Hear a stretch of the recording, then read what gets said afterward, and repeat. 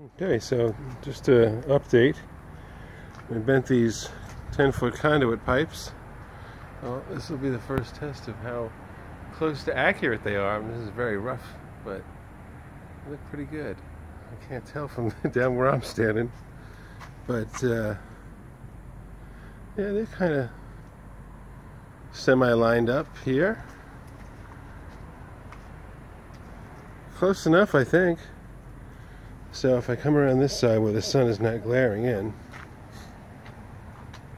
set just a, a height screw, which I can adjust at 8 inches down, and then put these uh, half straps. That's not what I really wanted. I, I picked up the wrong ones, but they they'll, they'll do the job. They don't really have to support much. Once the uh, uh, maybe I'll have to put a block in there. Who knows? We'll see.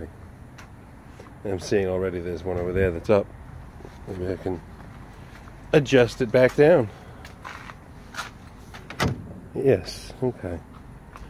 So I think that's uh, progress.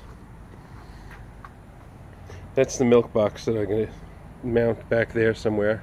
I put that one piece of uh, 1 by 4 up and mounted the uh, bracket there. It's six feet, so it's a six foot height in the middle of the peak. And I just put that bracket there to give it a little stability. And I haven't figured out, haven't thought through enough what I want to do with this door. I did put the uh, piece of wood across, figuring, well, whatever I do is going to just get attached to that anyway. So I'll figure out a door system. It's getting there. It's getting there.